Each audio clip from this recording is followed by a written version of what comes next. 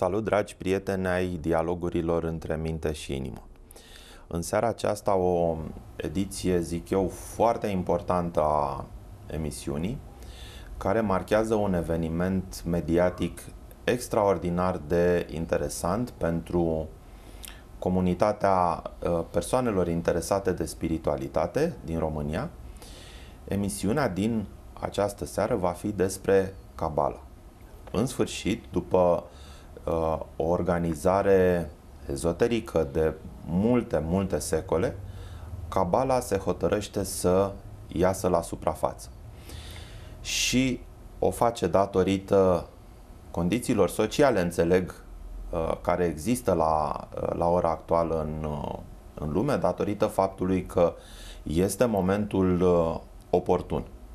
Avem în studioul nostru invitați în această seară, în această seară pe domnii Daniel Meze. Bună seara, Daniel! Bună seara, bine v-am găsit! Bine ai venit și David Mogoș. Salut, Ștefan! Bună seara tuturor telespectatorilor! Bine, bine ai venit! Sunteți studenți în cadrul Academiei de Educație și Cercetare în Cabala, Academia Bnei Baruch, da? Sper că am da, da, da. pronunțat cât de cât, uh, uh, cât de cât bine. Uh, urmărim să realizăm în această seară o prezentare a acestui sistem de spiritualitate multimilenară și absolut autentică, Cabala, da. pentru telespectatorii noștri. Menționăm că este o emisiune introductivă, deoarece Cabala, așa cum am spus și în uh, introducere, nu prea a ieșit la suprafață, nu prea a ieșit în lume, a fost de o tradiție inițiatică, ezoterică, nu exoterică. Da da? Și uh, aș începe prin uh, a te întreba, Daniel, să ne spui ce este Cabala și ce anume studiază. Da, Cabala este o înțelepciune foarte veche, la fel cum spuneai și tu, o înțelepciune milenară care uh, începe acum 5775 de ani cu o dorință de spiritualitate care este căutată de omenire. Și de-a lungul evoluției omenirii au existat mai multe necesități, de la necesități fizice, bazice, la din ce în ce mai elevate necesități și dorințe. Pentru că un om este suma dorințelor sale, pe care le uh, contabilizează în minte, în rațiune și în urmă cu 5775 de ani, un om numit Adam a avut această revelație a ceea ce înseamnă forța creatorului sau a lui Dumnezeu sau oricum am numit eu, care ne influențează. Și el a ajuns la concluzia că această forță este o forță a iubirii și a altruismului. Și de atunci până în prezent au fost generații întregi de cabaliști care au studiat această știință. Dar ei uh, nu erau neapărat oameni care să meargă la alți oameni să spună, vedeți, uitați ce am descoperit, vă invit să studiați și voi. Cabala se adresează acelor oameni care au dorința de spiritualitate, pentru că nu poți să mergi să dai cuiva dacă persoana respectivă nu are în sinea ei vasul de percepție și dorința a mesajului pe care tu vrei să-l transmiți. Iar în secolul 21, astăzi aici la 6 TV, noi încercăm să dăm mai departe această știință și această înțelepciune pe care noi o studiem alături de profesorul Michael Lightman și încercăm să dăm acest mesaj către toți cei care sunt interesați. Este o, o înțelepciune foarte veche care presupune o introspecție și o muncă interioară a omului care se analizează pe sine însuși în raport cu ceilalți din jurul lui. Pentru că de multe ori putem să cădem în capcana să ne relaționăm cu un Dumnezeu exterior sau să ne imaginăm un Dumnezeu exterior care este undeva, poate pe un norișor, dar uităm sau nu ne aplecăm asupra oamenilor de lângă noi, fie că vorbim despre soție, fie că vorbim despre soț, de prieteni, de părinți. Și noi uh, ar trebui să vedem care sunt relațiile noastre cu acești prieteni ai noștri și cum putem ca aceste relații sau în cadrul acestor relații să atingem marele principiu al cabalei iubește-ți aproapele ca pe tine însuți. Deci cum ne putem conecta cu persoane de lângă noi, cum putem să avem o dorință comună de spiritualitate, să muncim cu această dorință și ca rezultat concret să avem o viață mai bună, să avem o viață care să iasă din suferință și din conflicte care sunt între oameni. Foarte interesant. Deci ceea ce momentul pe care îl uh, menționezi al acelei revelații din urmă cu 5775 de ani al lui Adam este o adevărată trezire spirituală după criteriile oricărei persoane din lumea aceasta și ceea ce facem noi acum pentru mass media este tot începutul unei treziri spirituale, fiindcă uh, suntem cei care diseminăm în mod public, probabil pentru prima dată sau printre primii care facem treaba asta în mod public după, după atâția ani și cred că este un moment extraordinar de important. Asta ar fi o primă remarcă. Uh, a doua remarcă este că, într-adevăr, relațiile cu cei din jur trebuie să recunoaștem că sunt dificile. În mod natural. Deci, normalitatea nu este ceva care vine de la sine în, în lumea noastră a oamenilor. Normalitatea se menține cu strădanie și cu consum de energie. Normalitatea și în relațiile cu familia, și cu soția, și cu părinții, și cu copiii, și în relațiile sociale. Te-aș întreba, David, da. în acest context. De ce are omenirea nevoie de Cabala acum? Mm, de, ce, de ce este acum momentul potrivit? De ce facem noi asta acum și n-am făcut-o în urmă cu câțiva ani? Sau nu facem peste câțiva ani? Da, da, da, o întrebare foarte bună. Uh, umanitatea a trecut prin anumite etape de dezvoltare. Uh, treptat, gradual, a parcurs anumite nivele ale dorinței. Noi știm cu toții că fiecare individ în parte, cât și umanitatea pe de-a întregul, parcurge acea piramidă a dorințelor a lui uh, Maslow. Abraham Maslow, da. Maslow, da. Și, uh, am, am putea să spunem și care sunt. Uh, uh, da, da, da. Sunt, să fim mai explicit. Sigur, sunt două seturi de dorințe. Inițial sunt dorințele de bază pe care orice animal le are. Mâncare, adăpost, Asigurarea familie, existenței. da, ce ține de animal și apoi, al doilea set, sunt dorințele sociale pentru că implică alți oameni. Sunt graduale dorința de avere, apoi dorința de Uh, faimă de așa următorul grad, dorința de cunoaștere și în cele din urmă, în vârful tuturor, este dorința de spiritualitate. Adică odată asimilate toate aceste grade în noi, noi tindem către ceva superior, către ceva, tot timpul există în noi o deficiență, o lipsă, o căutare care ne împinge să creștem. Este către o lege adevărata noastră către adevărata noastră natură, fundamentală, de fapt, să zicem. Da, tot ceea ce e deasupra animalului, toate tendințele omului către, nu știu, cultură, către poezie, pictură, sculptură și orice altceva, e de fapt o căutare mascată a adevăratei noastre identități. E o dorință de a ne reîntoarce la sursă, o dorință, dar noi căutăm pe Creator, căutăm uh, să ne întoarcem la locul nostru de origine, o căutare a adevăratei identități. Și a autorealizării și, noastre. Și autorealizării noastre, bineînțeles, dar de fapt tot ceea ce facem ne împinge către,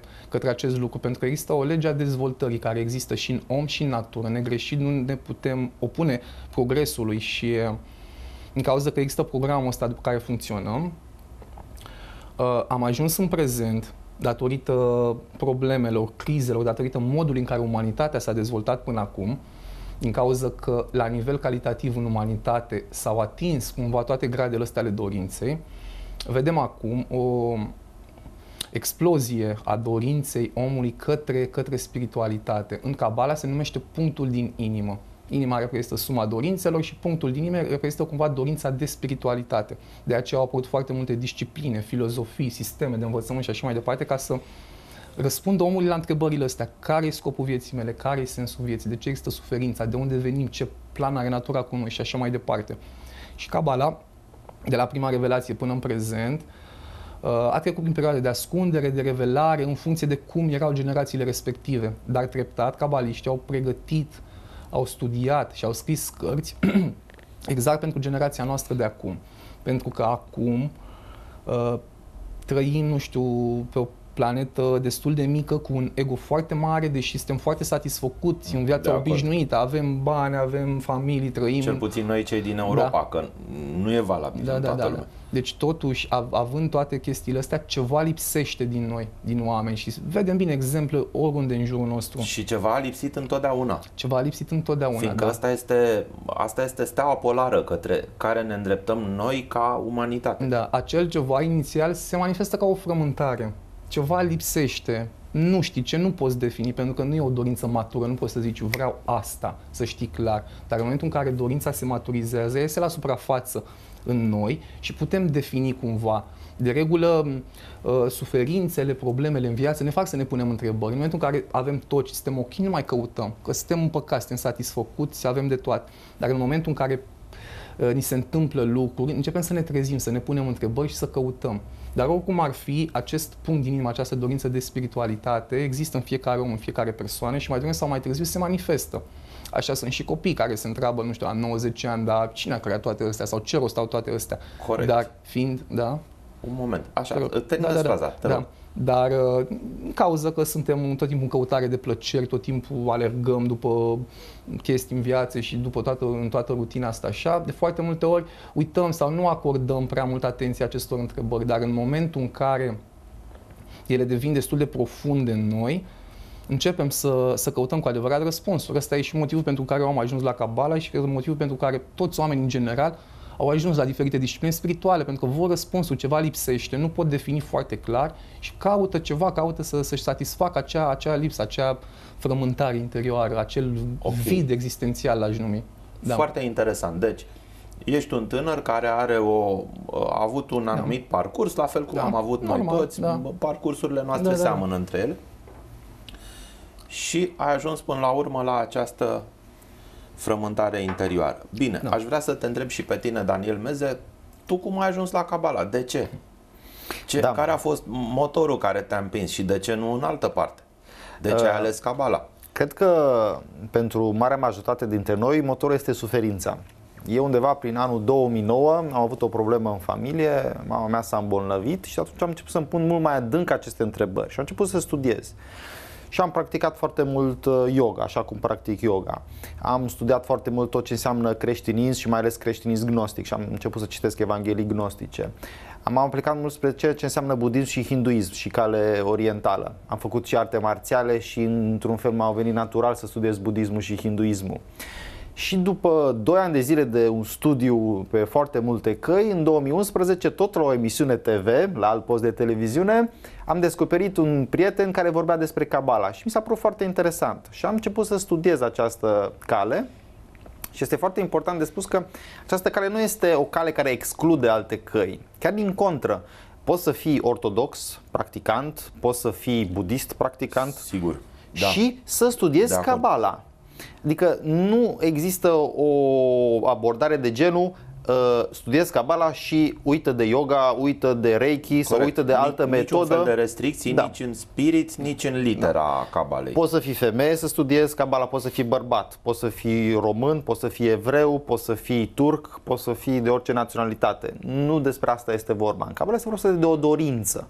De o dorință de spiritualitate pe care o cultivi într-un mediu de studiu. Și aici avem cărți, avem congrese pe care le facem, avem întâlniri, mergem în Israel, mergem în alte locuri unde se întâmplă congrese în Europa și încercăm să ne înconjurăm de oamenii care au aceeași dorință de spiritualitate ca și noi. Și să avem o serie de discernăminte în cadrul acestei dorințe de spiritualitate. Și împreună noi învățăm că trebuie să dăm mai departe acest lucru. Și de aceea uh, faptul că 6 TV a apărut acum cu uh, această dorință de a da mai departe tot ce înseamnă mesaj spiritual înseamnă că societatea este pregătită pentru asta. Că este pentru că momentul, niciodată nu apare ceva de care nu este nevoie. Și atunci înseamnă că și noi suntem pregătiți ca și studenți ca să venim la dumneavoastră și să dăm mai departe ceea ce noi am studiat. Pentru că noi nu studiem pentru noi. Noi studiem ca uh, ceea ce atingem noi sau ce sentimente avem în interior să încercăm să le dăm mai departe la oameni. Corect. Mulțumesc. Uh, David Mogoș. Da. Ce mijloace de studiu are cabala? Și mijloace de studiare Cabala. Da. Și ce metode? Și ce metode? Cum uh, există o revelație în cabala, există un mesaj, cum se transmite, cum, uh, cum participă studenții la acest uh, studiu, ce tehnici există, ce se fa- există uh, relație maestru-discipol, există grupuri de discuții. Da, da, da, înțeleg. Aici e o discuție un pic mai lungă. Munca în Cabala, de fapt, Cabala este o disciplină, o știință, o înțelepciune foarte practică. Uh, În Cabala nu credem absolut nimic și experimentăm totul. Seamănă cu știința. Bineînțeles, altfel nu am putea ști cu adevărat, fără umbră de îndoială, că există un creator, că există o forță superioară, dacă nu am experimentat, dacă nu am simțit. Și cabaliștii spun, nu trebuie neapărat să credeți ce spunem noi, ci experimentați, lucrați, acționați și ca rezultat al angajării voastre în toată munca asta așa, o să, o să simțiți, o să o să înțelegeți. ajungeți la da. propriile voastre concluzii. Da, da, da. Aș spune că sunt două tipuri de, de muncă în Cabala. Munca interioară și munca exterioară. Uh, lucrurile sunt foarte simple. E un mecanism în care funcționează dorințele în om.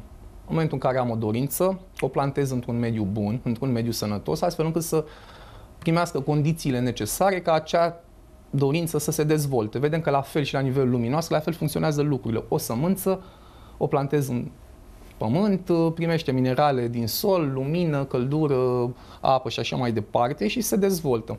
La fel e și dorința de spiritualitate pe care noi o plasăm în ceea ce numim mediu bun. Deci fiecare om are în stare latentă, în potențialitate, are un embrion al sufletului, are o sămânță spirituală, un început de suflet, a zice, o mică dorință, o dorință de a înțelege care e sensul vieții cu adevărat. În Cabala, munca noastră este să amplificăm, să creștem această dorință, pornind de la această primă intenție, că e o tendință către ceva. Deci plantăm această dorință a noastră într-un mediu. Mediu ce înseamnă?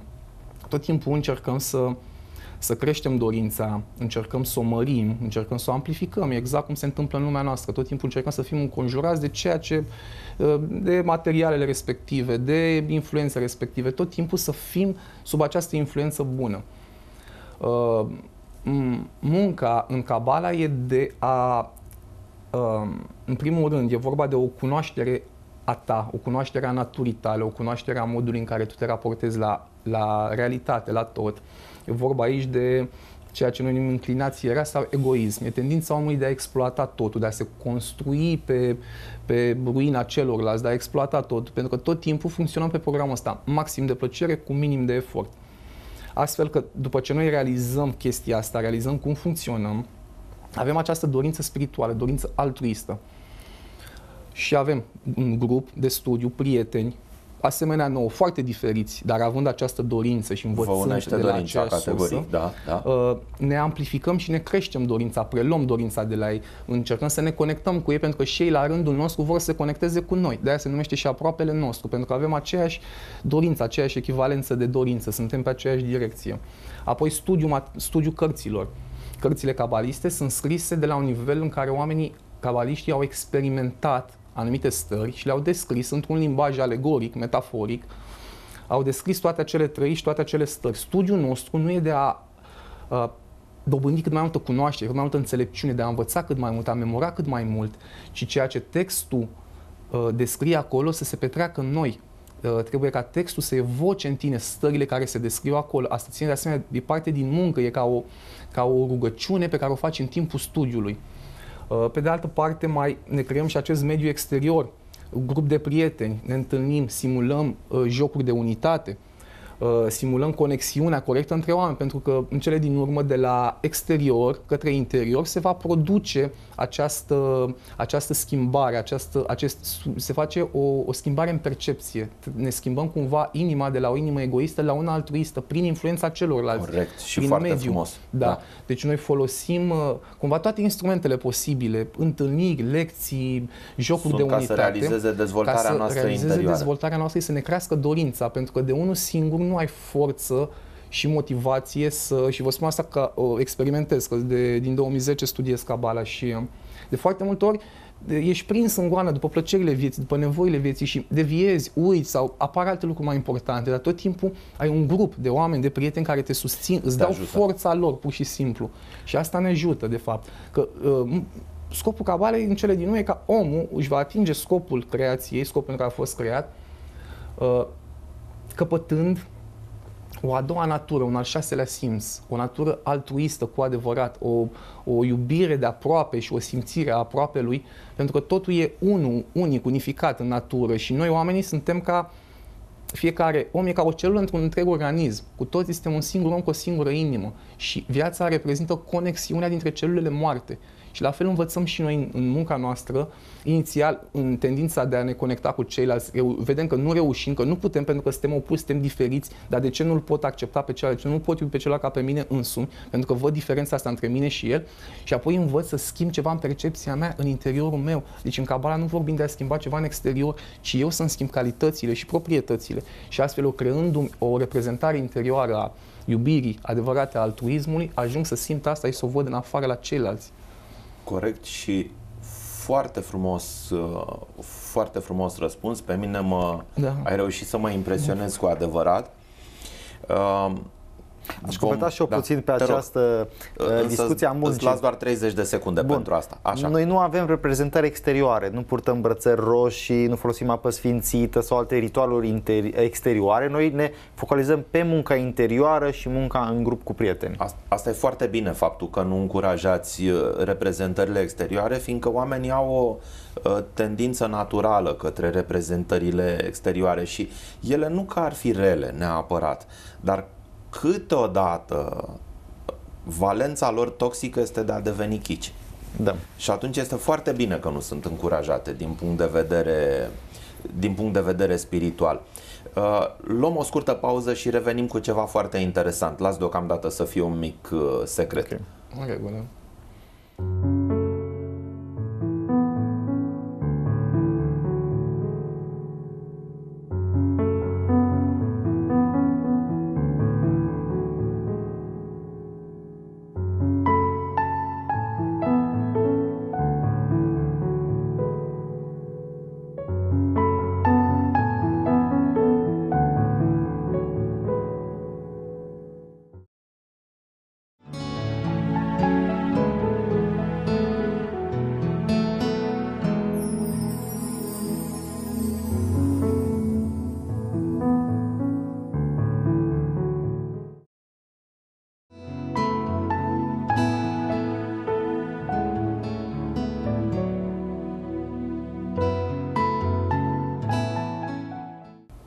Rubrica Terapii pentru trup și suflet se realizează în seara aceasta împreună cu domnii Daniel Mezeș și David Mogoș, studenți în cadrul uh, Academiei de Educație și Cercetare în Kabbalah, Bnai Baruch. Uh, este, vă repet, este pentru prima dată când Kabbalah iese la suprafață în mass media într-un mod atât de explicit de-a lungul timpului. Momentul este foarte important din multe puncte de vedere. Uh, ceea ce a uh, arătat până acum David Mogoș este uh, modul în care se realizează studiul în Cabala și modul în care studiul Cabalei te modifică la nivel sufletesc, ceea ce înseamnă o adevărată terapeutică a, a ființei și uh, este un lucru extraordinar de important pentru noi oamenii, faptul că ne vindecăm sufletul, fiindcă asta căutăm până la urmă la, la spiritualitate, să ne vindecăm sufletul.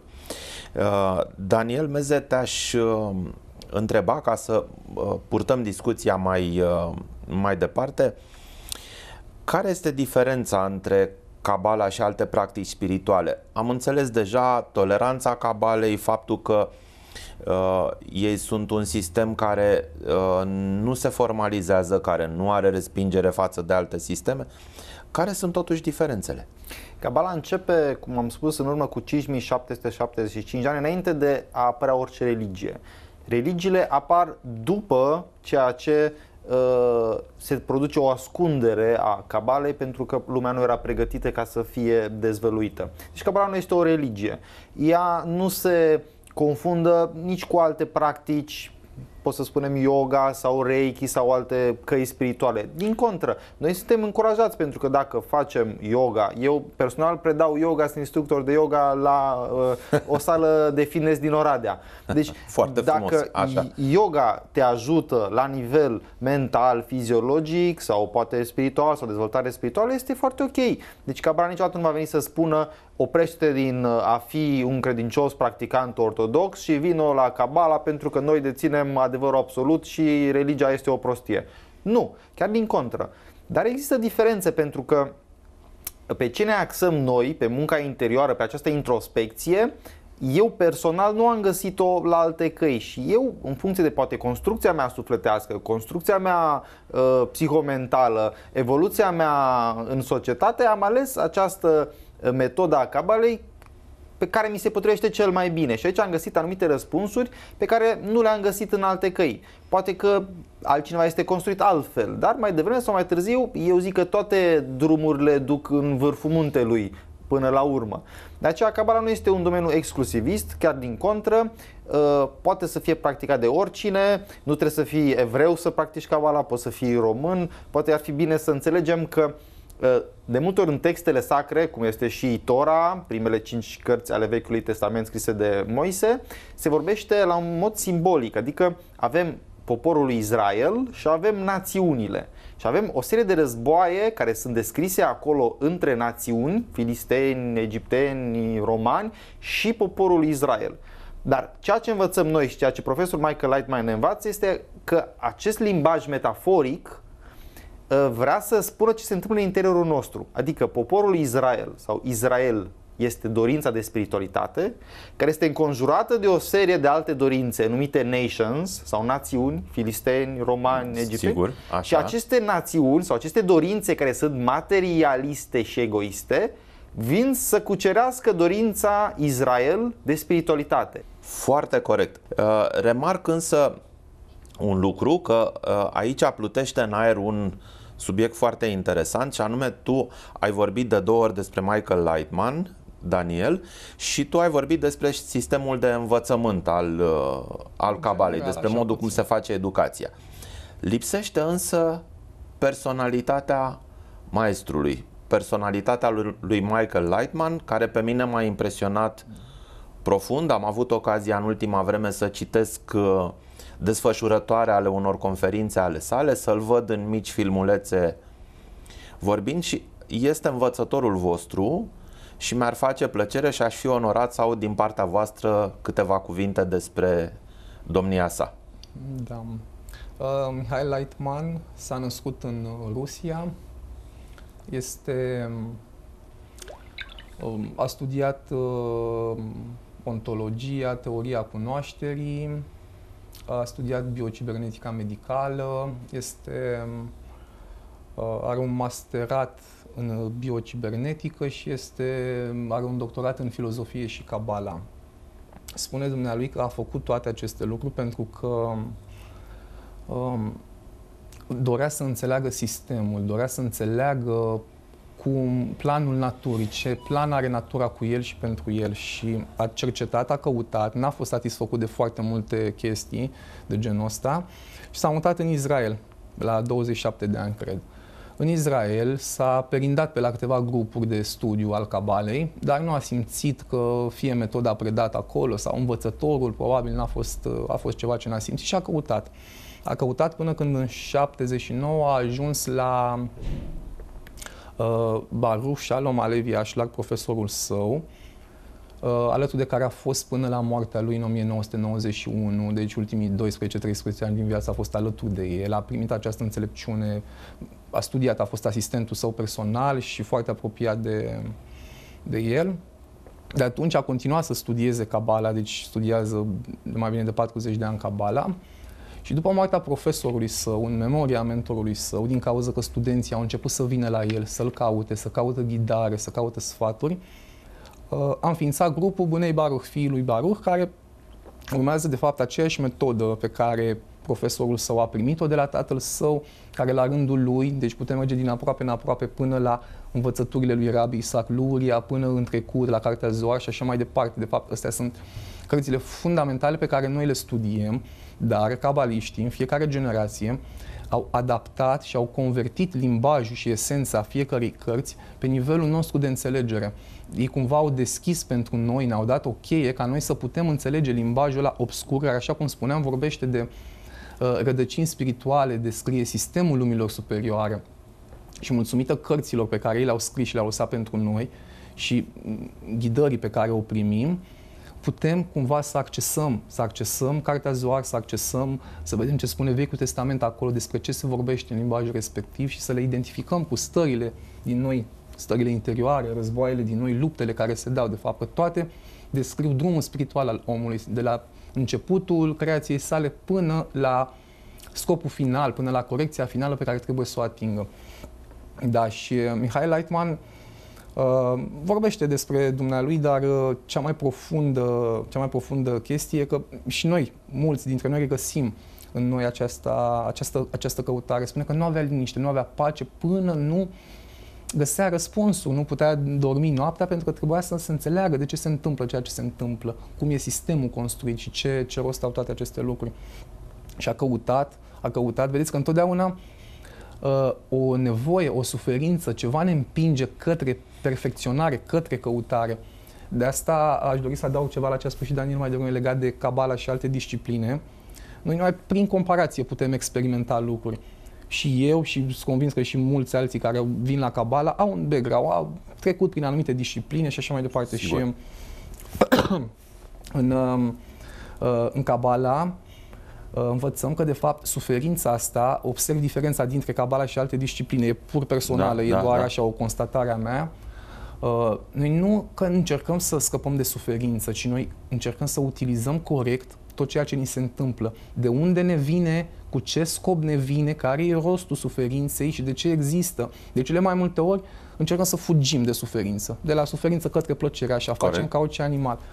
Uh, foarte multe, nu știu, e, e părerea mea, un selat în discipline. Noi în Cabala acceptăm că totul ne vine dintr-o sursă superioară cu un anumit scop. E ca un, un limbaj al Creatorului, e ca o, ca o voce care ne cheamă cumva, dar ăsta e limbajul lui prin ceea ce se întâmplă în realitate, prin ceilalți oameni, modul în care percepem și internalizăm ceea ce se întâmplă în afara noastră, e de fapt o chemare a lui tot timpul e o, ne atrage mai aproape și ne dă situații și suferințe și probleme și orice ni se prezintă nou în tabloul ăsta al lumii, uh-huh. ca noi să ne îndreptăm către scop și să atribuim lui, creatorului, forței, naturii, de, sursei din care vin toate chestiile astea și astfel noi cumva învățăm cum să, să lucrăm cu suferința, nu o suprimăm, nu, nu fugim de ea, nu folosim chestii ca, nu știu, gen... Corect, să, atitudinea, da, corectă atitudinea corectă în fața da. suferinței, și utilizăm, sigur. Da, da, da, utilizăm toate instrumentele posibile ca să creștem, să înțelegem, să conștientizăm, să în mod conștient să ne reîntoarcem la sursă, să înțelegem de fapt care e planul naturii pentru noi.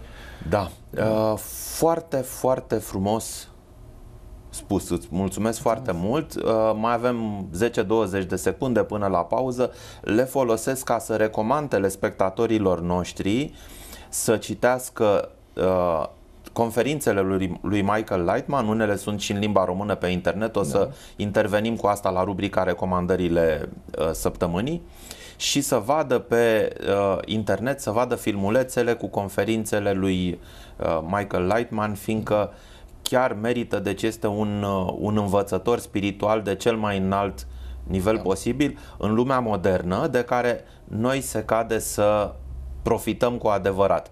Cât, cât avem încă ocazia, ca asemenea oameni sunt, uh, sunt rari, din păcate, pentru da. noi. Luăm o scurtă pauză.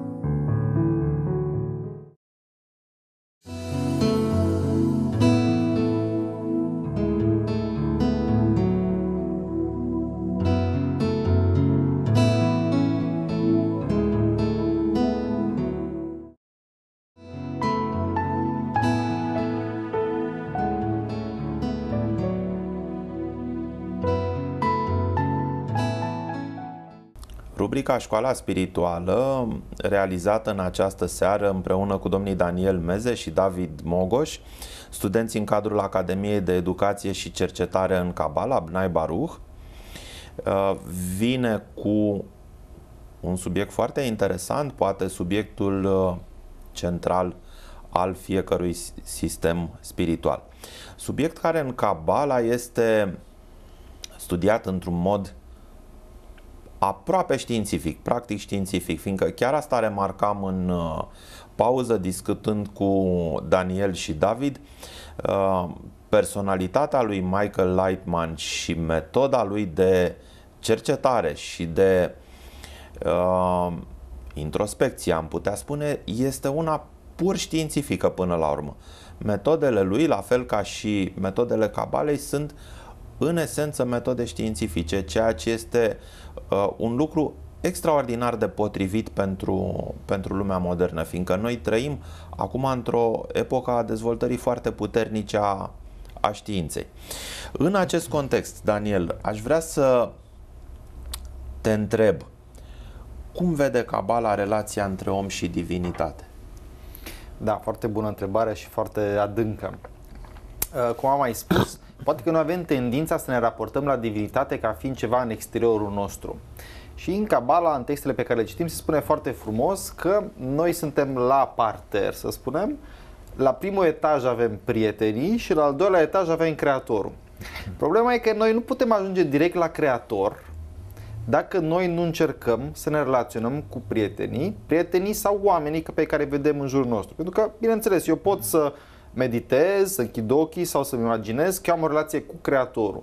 Dar cine îmi spune mie dacă acea relație este autentică sau dacă nu este rodul unei imaginații a mele? Pentru că dacă m-aș fi născut în India, aveam o relație cu Krishna. M-am născut în România, mă imaginez o relație cu Isus. Sigur. Mă, mă nasc în Israel, poate imaginez o relație cu Iahve sau uh-huh. Cu altcineva. Și atunci se spune foarte bine în Cabala că prima dată trebuie să avem o relație cu prietenii. Iar tot ceea ce definim noi ca și creator, ca și divinitate, ca și uh, suprem, există în relația pe care noi o construim în mod corect cu prietenii o relație de altruism, de iubire, de grijă față de aproape, unde se revelează Creatorul ca și o calitate interioară a omului. Noi niciodată nu vom pune pe perete o imagine externă a Creatorului sau un idol sau un chip cioplit pe care să-l venerăm și căruia să-i atribuim noțiunea de Dumnezeu. Noi vom încerca ca acest Dumnezeu, acest Creator, să-l creăm între noi. Și se spune că de la iubirea de prieteni ajungem la iubirea de Dumnezeu și de cunoașterea lui Dumnezeu. Uh, un demers foarte riguros și foarte științific, aș spune, fiindcă, într-adevăr, uh, un om care înțelege niște lucruri crede într-un Dumnezeu abstract, da? Populațiile primitive credeau în uh, Dumnezeul manifestat în idol. Epoca respectivă a trecut de mult, omenirea a evoluat. Și interesant mi se uh, pare ceea ce spunea Michael Lightman într-o conferință, că noi nu avem exemplul lui Dumnezeu datorită faptului că divinitatea este abstractă, dar noi, prin intermediul celor din jur, construim imaginea lui Dumnezeu în noi. Deci, iată că vorbim de o adevărată știință a construirii imaginii divine, care este, uh, este Cabala, după și cum se... Vreau să te completez, să spun că noi mergem și dincolo de știință. Pentru că uh, știința ce face? Ia uh, evenimente obiective din jurul nostru și încearcă să le analizeze. Dar oamenii de știință, de exemplu la Geneva, unde au generator de particule și unde învârtesc pe un cerc foarte mare particule și să le spargă ca să-și dea seama care este particula de bază care stă la baza materiei, ei își dau seama că aceste particule pe care le descopere din ce în ce mai mici ori nu le pot detecta locația, ori nu le pot detecta masa și că dispare materia printre degete. Și mai mult, da, ei își dau seama Corect. că observatorul și omul de știință influențează experimentul. Și ei au cam închis toată discuția pentru că își dau seama că eu n-am cum să cunosc materia din afara mea pentru că eu însuși o materializez, o fac. Sigur. În timpul experimentului modifică experimentul. Iar Cabala vine să spună nu căuta să observi exteriorul, care este o creație a ta, prin cele cinci simțuri, Cabala vine să analizeze observatorul, nu evenimentul exterior. Și de aceea, chiar aș putea spune undeva paradoxal, se trece dincolo de știința care caută să zică, bun, masa asta este făcută din sticlă, din cutare materie, ce se întâmplă, noi venim și intrăm în interiorul persoanei și discernem tot ce înseamnă mecanisme interioare care se revelează ca și la de particule, unde? În ciognirea dintre oameni, în relația dintre oameni. Da. Atunci, oamenii se ciognesc ca acele particule și se revelează ceva în interiorul lor. Și aici este Creatorul. Unde doi sau trei se adună în jurul meu, acolo sunt și eu. conexiunea dintre oameni. Foarte frumos spus și un drum foarte direct în a observa observatorul, fiindcă așa ajungi în mod direct la, la divinitate. Restul sunt drumuri ocolite. Tot la divinitate ajungi. Da. Dar nu e drumul direct. Da. Uh, David Mogoș, Da. aș avea o întrebare pentru tine. Te-aș ruga să ne vorbești puțin despre natura umană și despre ego. Cum vede Cabala aceste, aceste lucruri? E Foarte frumos subiectul și în discuțiile obișnuite noi avem tendința de a vorbi despre asta, pentru că natura umană, Kabbalah,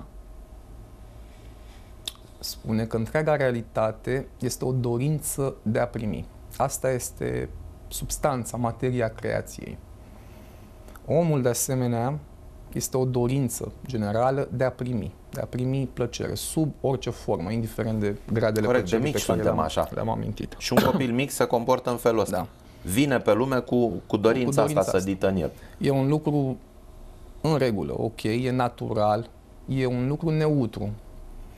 Modul în care noi ne raportăm la plăcere, la dorințe, adică Poate să nu fie neutru. intenția cu care folosim și utilizăm toate aceste dorințe, e o intenție egoistă. Iar asta ne separă pe noi și ne pune în imposibilitatea de a simți o plăcere infinită, o plăcere mai mare, pentru că, virgulă, Kabbalah, de la cuvântul lekabel, înseamnă a primi, a accepta lumina Creatorului. Foarte interesant. Kabbalah, într-adevăr, ne învață cum să primim o plăcere infinită, pentru că dorințele omului, dorința, în momentul în care e satisfăcută, se neutralizează, dispare. Deci dorința și plăcerea care umple dorința se scurcircuitează, se neutralizează una pe Sigur, alta. sunt ca un plus și minus, da, să zicem. Altfel spus, da. odată obținut lucru dorit, nu ți-l mai dorești. Dispare dorința, Ai da. mâncat, ai săturat, ai giftuit, Și- nu, exact. nu mai dorești. Ideea e că toate dorințele, toate gradele dorinței se derulează în noi, așa bine, gradual cum se derulează ele, până când ajungem să fim goi, interior, rămânem din ce în ce mai frustrați, ceva lipsește și tot timpul suntem în căutare de plăcere. Tot timpul trecem de la o dorință la alta. Tot timpul plăcerea e proporțională cu efortul depus pentru satisfacerea dorinței, așa. Ideea e că putem obține o, o plăcere infinită, o senzație în care plăcerea nu mai dispare, în momentul în care noi cultivăm în noi, scoatem la iveală, amplificăm și creștem acea dorință cu adevărat altruistă, acea dorință spirituală. Exemplu dat de cabaliști, pentru că nu e un exemplu care există în natură, exemplu între mamă și copil. Cu cât mama dăruiește mai mult copilului, mai multă atenție, mai multă hrană, mai multă grijă, mai multă afecțiune, cu atât ea e satisfăcută, deși ea e, ea dăruiește, ea dă, dar în același timp primește o satisfacție infinită. La fel și noi învățăm că întreaga umanitate este un, un suflet, este sufletul nostru. Toți ceilalți oameni reprezintă părțile sufletului nostru. În momentul în care noi reușim să inversăm această intenție egoistă de la a primi pentru mine, a primi pentru sine, de a absorbi totul, a înghiți totul, a exploata totul în jurul nostru, pentru că asta e natura umană. Așa, în momentul în care reușesc să fac chestia asta, eu capăt o senzație de ce înseamnă să dăruiești, ca atare capăt și o plăcere care nu dispare, nu se neutralizează, pentru că atitudinea mea față de ceilalți poate fi tot timpul în dăruire, poate fi infinită.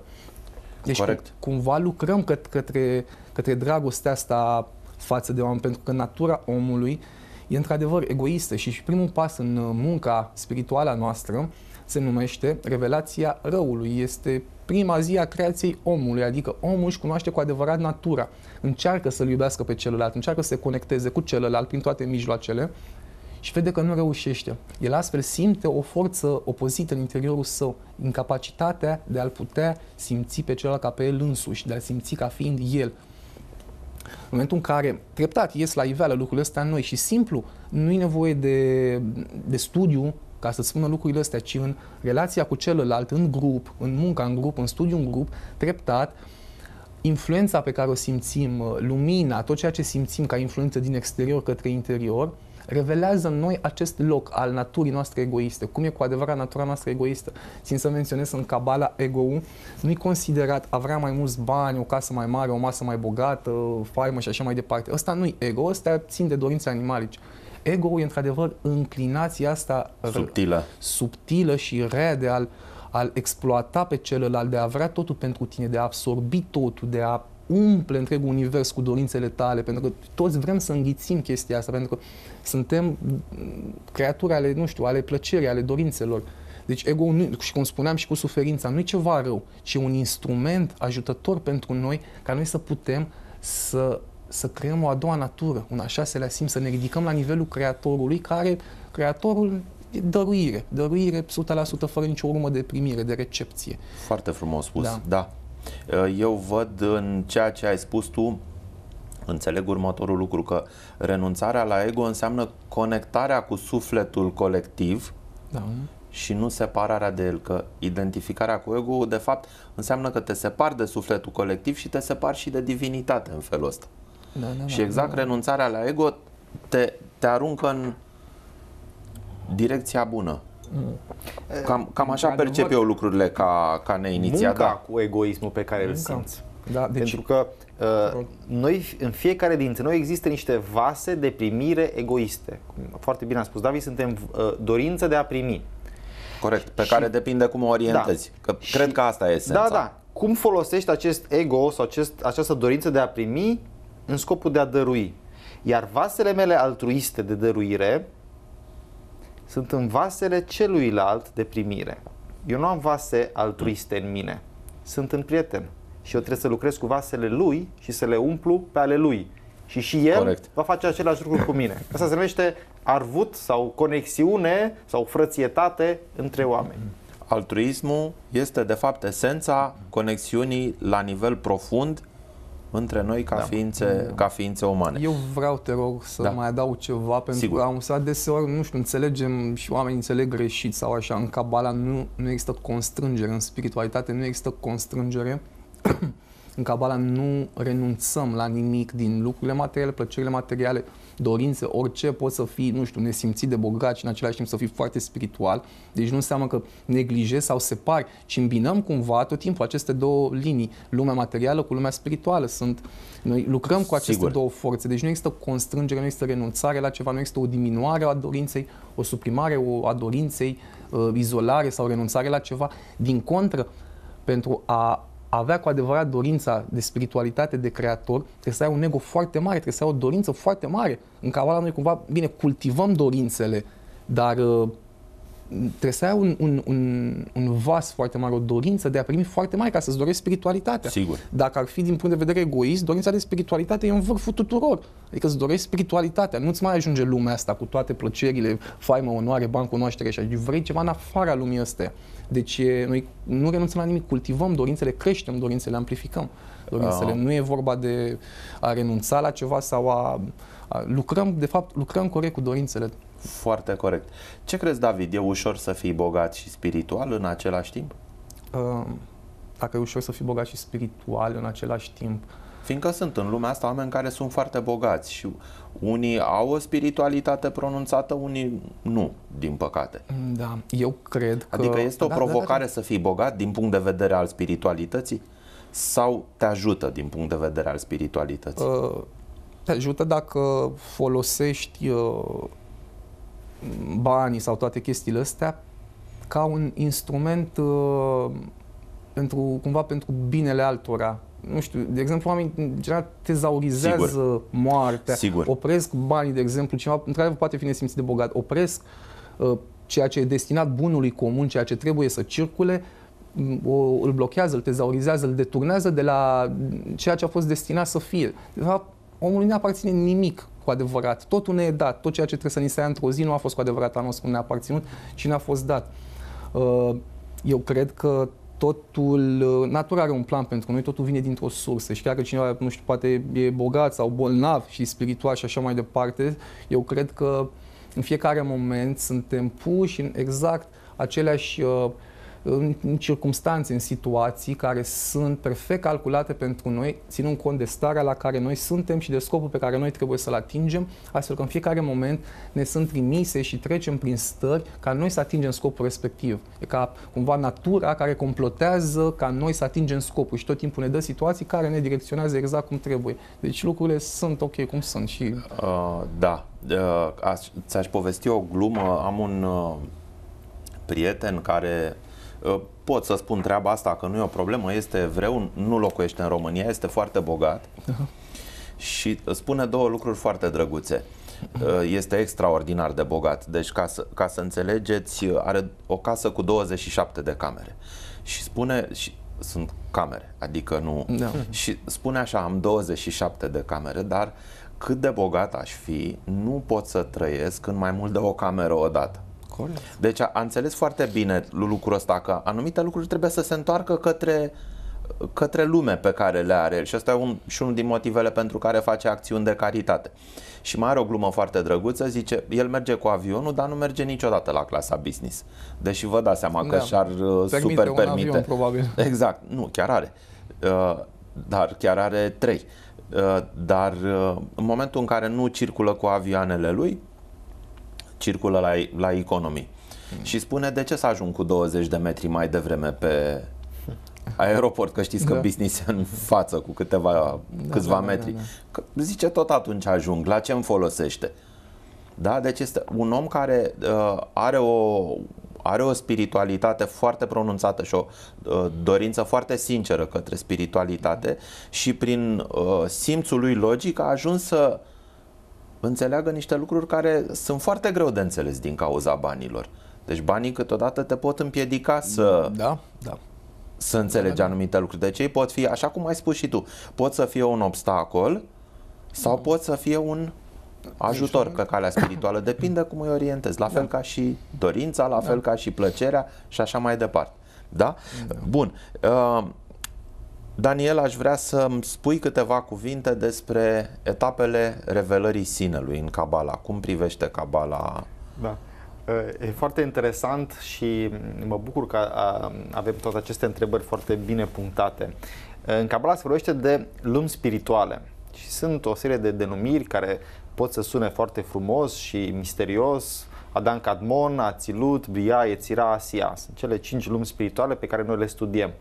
Dar tot timpul trebuie să mergem în interiorul nostru și să, să conștientizăm faptul că aceste lumi spirituale uh, nu sunt atinse după moarte sau nu sunt atinse dacă eu îmi fac un, uh, o schiță, o pun pe perete, cum am mai văzut pe unii că pun arbole sfirotic cu cele 10 sfire pe perete și încerc să fac o meditație sau încerc să fac din uh, acest uh, arbore sfirotic sau de aceste lumi spirituale un obiect de cult. Noi trebuie să ne dăm seama că cabaliștii care au scris despre aceste lumi spirituale, de această revelație a sinelui, de a atinge rădăcina sufletului sau a naturii noastre divine, despre aceste lucruri au fost scrise la modul alegoric și la modul simbolic. Și avem o grămadă de povestiri în Vechiul Testament. Foarte în interesant. Isaac Așa. Luria vine, uh, Sfântul Arii, vine și spune despre Keter, Hochma, Bina, toate sfirele care sunt în arbole spirotic. Dar noi nu trebuie să le luăm ad literam. Noi trebuie să exact. vedem că fiecare lume spirituală, fiecare sfiră pe care noi o studiem, nu este ceva exterior nouă. Adică dacă eu mă aprofundez în munca mea interioară, alături de Ștefan, alături de David, eu voi descoperi toate aceste sisteme în mine și în relațiile dintre mine și prieten. Și voi, voi citi textul și voi spune, a, de fapt, asta înseamnă relația lui Keter cu Bina și asta înseamnă trecerea de la Ațilut la Dan Catmon și de la o lume spirituală la alta. Dar noi am avut tendința și poate că și religia a făcut acest lucru, că a fetișizat aceste metode sau aceste uh, modalități și n-am mai văzut pădurea de copaci. Și am luat mijlocul ca fiind de fapt scopul și nu am folosit mijlocul pentru a ajunge la scop. Și aceste lumi spirituale, această tot etapă de revelare a sinelui, este un limbaj alegoric și îl vom vedea un limbaj alegoric într-un sens în Vechiul Testament, în alt sens în cărțile lui Isaac Luria, scris, în alt sens scris în cartea Zoar, în alt fel scris în cartele lui Mihai Leitman, dar se vorbește despre același lucru. Noi când citim în Vechiul Testament despre a, a ieșirea din Egipt, ce înseamnă ieșirea din Egipt, unde Eh, poporul Israel era sub stăpânirea egiptenilor și a faraonului.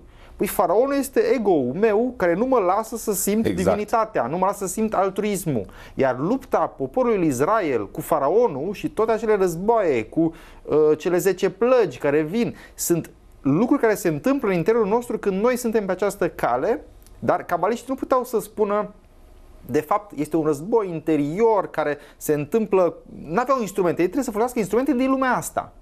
Sigur. Adică un război, noi îi spunem masă, dar de fapt ei au o reprezentare a ce înseamnă masă sau ce înseamnă tată și fiu. Adică Avram a avut un fiu. Adică Avram a mers de la o etapă spirituală la altă etapă spirituală. Nu neapărat, bine, a avut și un fiu fiziologic, dar Sigur, este un limbaj... Dar nu la asta era da, referirea, bineînțeles. Un limbaj a ramurilor și a rădăcinilor.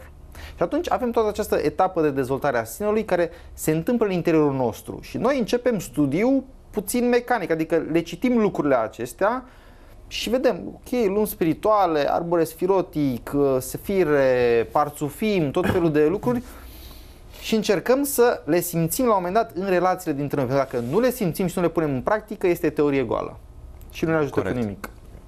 Da. Um, foarte, foarte frumos și uh, am fost întotdeauna impresionat de modul în care se folosesc, folosește limbajul în Cabala, de nivel, nivelurile limbajului în Cabala, fiindcă el, așa cum ai spus, este un limbaj obișnuit da? și care ți se relevă pe măsură ce avansezi spiritual și în locul acela în care tu ai fost de la început, uh-huh. începi să observi niveluri din ce în ce mai profunde ale realității și ale sinelui. Se și spune că toate lumile sunt în interiorul omului.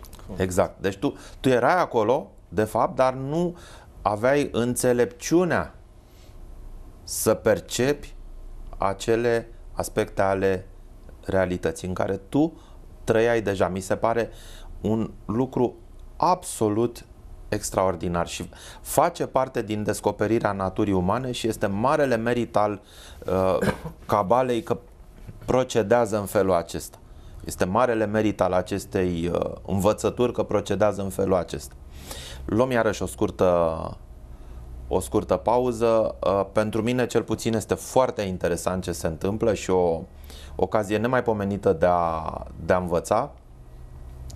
Revenim după o, okay. după o scurtă pauză cu prezentarea unei, uh, unei cărți de Cabala așa cum ne-am dorit cu toții. Okay. Okay.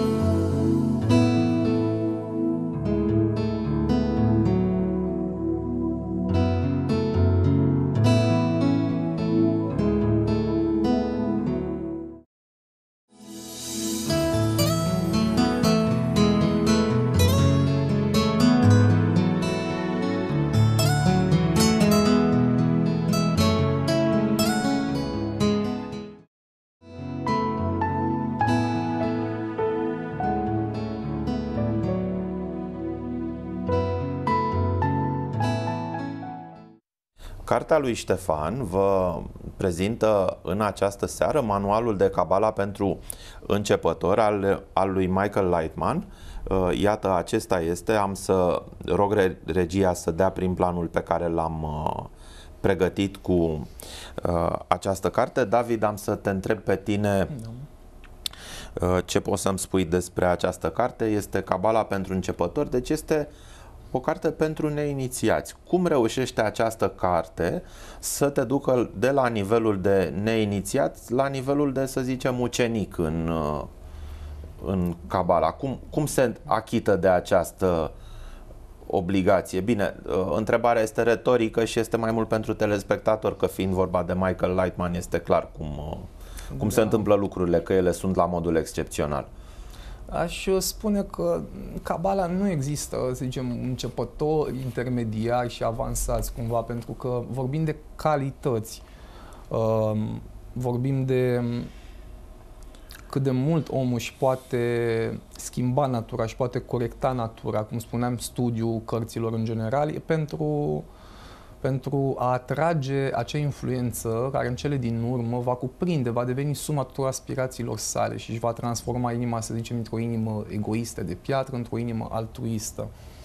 Uh, Cabala pentru începători este o carte introductivă despre principii și orientare, structurată în patru, în patru părți.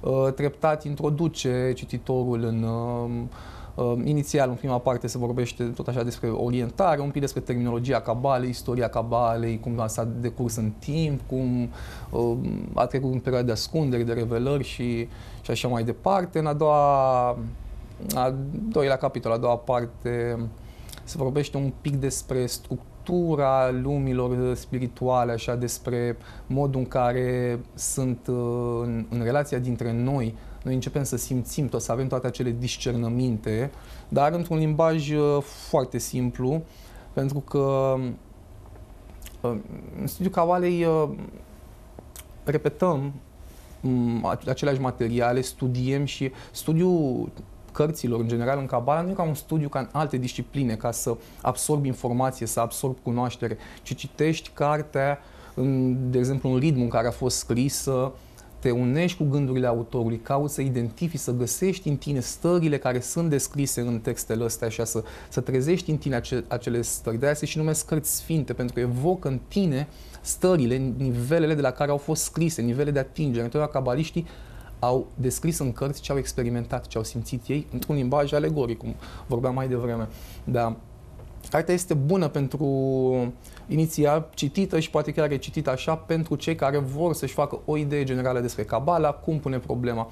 În general, cărțile cabaliste sunt foarte bine structurate pentru că nu știu, nu știu o altă știință care fie grafic, fie analitic, fie prin intermediul formulelor, cu schițe, cu desene, cu întrebări și răspunsuri, cu dicționare și așa mai departe, se explice cât de diverse și multifacetate sunt senzațiile și dorințele omului, cum ies la iveală în noi. Că de fapt toate cărțile, deși inițial carte, da, text, ele vorbesc despre trăirile noastre interioare, despre procesul interior care se petrece în noi, toate schimbările prin care trecem, ceea ce simt în relația cu celălalt, în conexiunea cu celălalt, ura care se revelează, prietenia, toate astea de fapt se revelează în conexiunea corectă dintre oameni. Da, cartea... Da, corect. Da, da, da. Și Cabala excelează la acest mod de, da. de prezentare în general, nu numai această... Da, da, da această carte. Uh, Daniel Meze, aș avea o întrebare și pentru tine care vine în completarea a ceea ce am discutat la uh, rubrica Școala Spirituală mai devreme. Cum arată realitatea prin prisma sinelui revelat din punct de vedere al da. Cabalei? Care este noua imagine a, a realității pe care o uh, poate căpăta cineva în într-o, într-o asemenea situație. Am făcut asta cumva în contrapartidă, fiindcă am vorbit despre o carte de începători, hai să vorbim și despre un subiect de avansați, ca să, da. ca să mă exprim așa. Este foarte interesant cum poate noi am tinde să credem că la un moment dat totul se va schimba uh, mm. în exteriorul nostru și că poate noi trebuie să facem niște demersuri să schimbăm ceea ce este în exteriorul nostru și să uh, Adică eu sunt ok, celălalt are o problemă. Asta e tendința naturală la Umană, noastră de a vedea da, lucrurile. Sigur, sigur că da. Și atunci noi, uh, de multe ori, un simbol cabalistic este copacul răsturnat cu două nivele. De aceea noi inversăm lucrurile, adică nu căutăm să vedem în exterior problema, ci să spun acest eveniment care vine spre mine și care mie îmi creează suferință, ce trezește în mine? De ce îmi vine? Care este scopul lui? Uh, deci dacă noi avansăm în studiul Cabalei și avansăm în această introspecție interioară și cunoaștere interioară a noastră, noi în continuare poate ne vom îmbolnăvi, poate vom avea un accident, poate că voi suferi dimineața de o durere de cap. Deci lucrurile rămân aceleași. Corect. Noi ne schimbăm și percepția noastră asupra lucrurilor se schimbă. Și atunci când eu, în urmă cu ceva timp, vedeam un eveniment rău în, să spunem, nu știu, am o durere de cap, eu acum, evenimentul este același, percepția mea față de el se schimbă. Dar în felul acesta, într-un fel, mi se schimbă realitatea pentru că eu văd aceleași lucruri, dar le văd altfel. E ca și cum cum folosești instrumentele pe care le ai și cum bine spuneai față de bani. Dacă folosești banii, dacă am bani, poate am bani să mă duc în Israel, să mă duc la lecțiile de dimineață a profesorului Michael Lightman și banii mă ajută. Dacă îmi folosesc banii ca să, nu știu, satisfac eu o dorință egoistă, nu i-am folosit cum da, trebuie. Da, pot, să, pot să mănânc de bani am mai da. scump, pot să da. fumez, da. pot să da. fac tot felul de lucruri care sunt dăunătoare. Chiar îmi spunea un prieten care uh, este medic, îmi spunea un lucru, zice, domnule, românul când dă de bani, începe să mănânce mai multă carne, să bea mai mult și să fumeze mai mult. Astea primele lui tendințe, în momentul în care îi sporește venitul. Deci trăiește mai prost, de fapt. Și de aceea noi în Europa, unde avem civilizație mult mai avansată și nivel mai, mai mare de trai, avem boli cardiovasculare mult mai multe, boli oncologice mult mai multe, Sigur că da. uh, diabet și alte boli care sunt spuse ca fiind ale civilizației occidentale, pentru că nu le regăsim în China, în India, unde ei mănâncă orez, mănâncă Sigur mai că mult da. vegetarian. Sigur, unde mâncarea se găsește mai greu, unde Da. mâncarea este mai de uh, proastă calitate din punct de vedere al masticației, fiindcă trebuie să mesteci mai mult ca să uh, mănânci o găină de curte decât una de uh, crescătorie și așa mai departe. Da, deci calitatea vieții, calitatea materială a vieții în Europa vine la pachet și cu, uh, și cu dezavantaje și poate că de asta este momentul să compensăm prin spiritualitate tocmai acum, adică să, să facem ceva care să facă lucrurile să iasă bine până la, până la sfârșit, ca una peste alta balanța să fie înclinată corect în favoarea noastră, din punct de vedere al, tot al în vieții. Cabala, apropo de ceea ce discutam pe subiect, uh, noi dacă vom dezvălui în interiorul nostru anumite lucruri și, cum a spus și bine David, avem această revelație a naturii interioare care este egoistă, noi încercăm să muncim cu ea. Nu o eliminăm. Și atunci noi vom vedea în realitatea din jurul nostru, vom înțelege, vom înțelege mult mai bine oamenii din jurul nostru. Și tendința pe care o aveam să lăsăm la o parte oamenii cu care ne certăm. Ne certăm, nu mai vreau să aud de el, își șterg telefonul din uh, numărul de telefon Din agenda, și, da. din agenda și nu mai vreau să am de face cu el. Noi din contră, noi încercăm să vedem cum pot să schimb eu realitatea din jurul meu și să lucrez cu ceea ce mi se dă, pentru că totul mi se dă cu motiv. M-am certat cu motiv, am o uh, șefă sau un șef care mă stresează dintr-un motiv și culmea, el mă ajută. Prin faptul că el, în ghilimele, are o agresiune față de mine, în mine trebuie să se producă ceva care să reconvertească agresiunea într-un dar pe care îl are Creatorul pentru mine. Sigur, fiindcă totul este dat de divinitate pentru zidirea noastră spirituală. Și iată că cu uh, aceste frumoase cuvinte pe care le-ai spus am ajuns înaintea ultimei rubrici de recomandări, așa că vom lua iarăși o scurtă pauză și vom reveni cu recomandările săptămânii.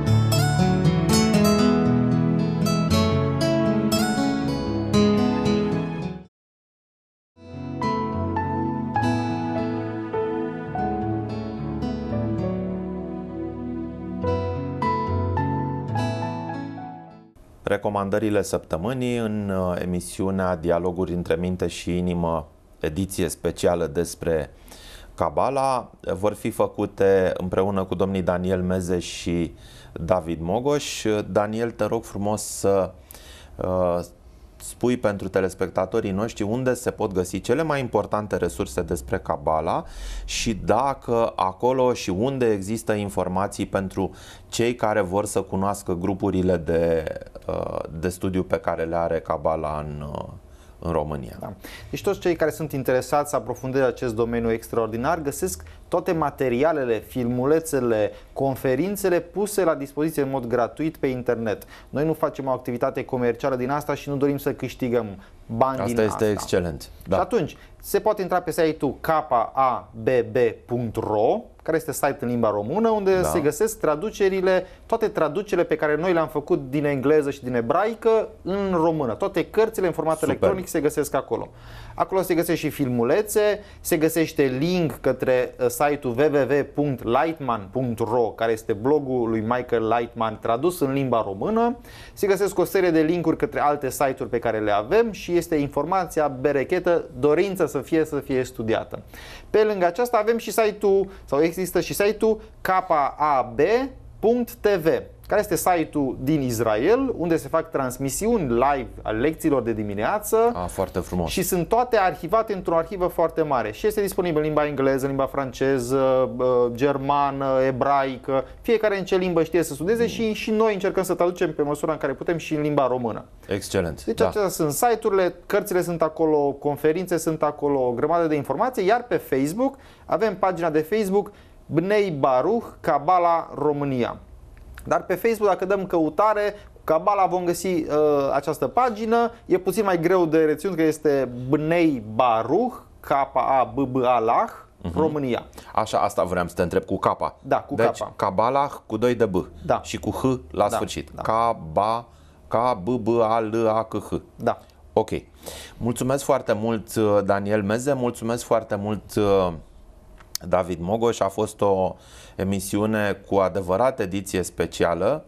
Uh, din partea mea și a colegilor uh, împreună cu care realizez emisiunea Dialoguri între minte și inimă, vrem să vă mulțumim și să vă adresăm o nouă invitație pentru a reveni uh, când va exista posibilitatea în studioul nostru pentru a continua ceea ce am început în această seară, pentru a continua această deschidere extraordinar de importantă a cabalei în mass media și a cabalei față de telespectatori în, în, în general. Încă o dată vă mulțumesc foarte noi mult. Mulțumim. mulțumim și noi și cu plăcere. Uh, să fim sănătoși. Am auzit că ai făcut drumul de la Oradea până da. în București, așa că încă o dată în plus îți mulțumesc pentru asta, Daniel. Dragi prieteni ai emisiunii Dialoguri între minte și inimă, aceasta a fost ediția specială despre Cabala. Vă mulțumim că ne-ați urmărit, vă dorim o săptămână senină și plină de lumină. Să ne revedem sâmbătă viitoare, sănătoși și voioși, la Dialoguri între minte și inimă.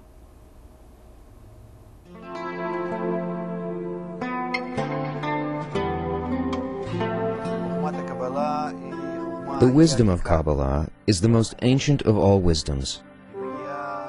It goes back to the time of Abraham the Patriarch, in the 18th century BC, 3,800 years ago.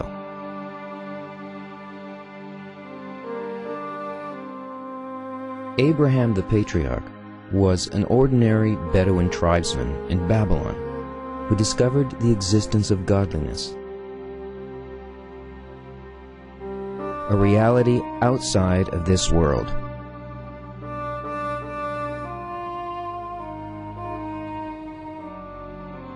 He then wrote a book about it called Sefer Yetzirah, the Book of Creation,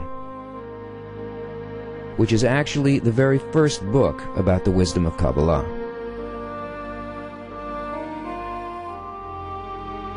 There were many more Kabbalists after him. His disciples, his sons, and his grandsons, all of them engaged in Kabbalah, until the second disclosure of the wisdom by Moses during the exodus from Egypt.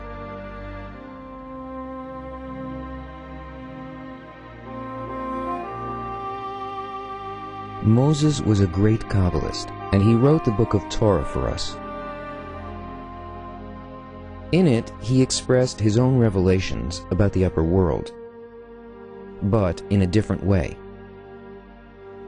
While Abraham wrote in names, Sephirot, and parts of Partsufim, Moses expressed himself in a different language, the language of branches.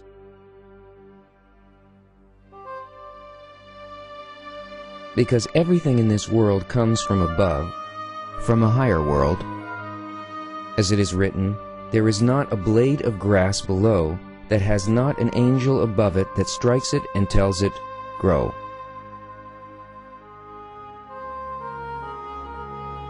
Therefore, there is a complete correlation between everything that exists in the upper world and everything that exists in our world. For example, in our world we have a language and denominations and names for every item we encounter. We can then take these names and seemingly go up a level to a higher world and use these names to describe everything that happens in that world. That's what Moses did when he described the language of branches.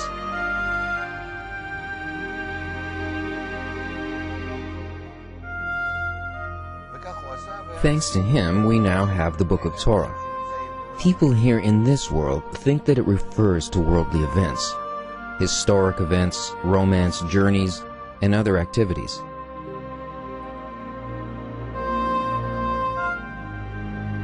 But those on a higher plane, which Moses wished to describe, know that Moses wasn't writing about our world, but about what is in the upper world. He was describing the upper governing higher providence, how souls ascend and descend, their incarnations, and the entire upper system.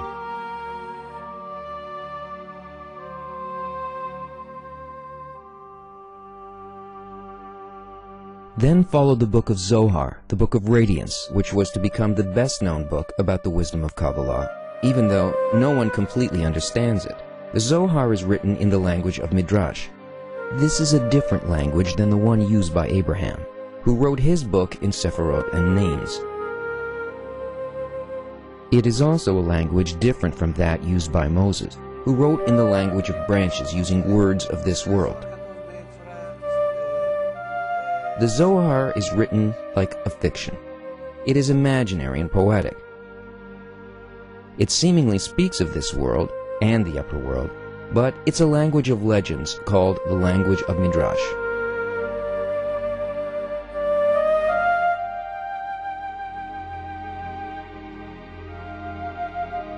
After the Zohar, we come to the disclosure in the Middle Ages in Svat by the holy Ari, Kabbalist Isaac Luria.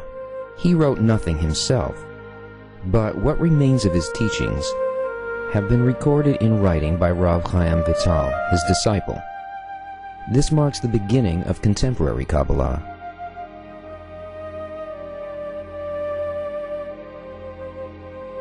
Then came the time of Hasidism and the evolution of the wisdom of Kabbalah in the 17th and 18th centuries, until it evolved into our contemporary Baal HaSulam, Rabbi Kabbalist Yehuda Ashlag. Baal HaSulam wrote the commentaries to the Zohar and the writings of the Ari, and expressed Kabbalah in a contemporary language. He wrote Talmud Eser Sephirot, the study of the Ten Sephirot, as a scientific book. It was written academically and very precisely, with a glossary, questions and answers, a complete textbook suitable for our times.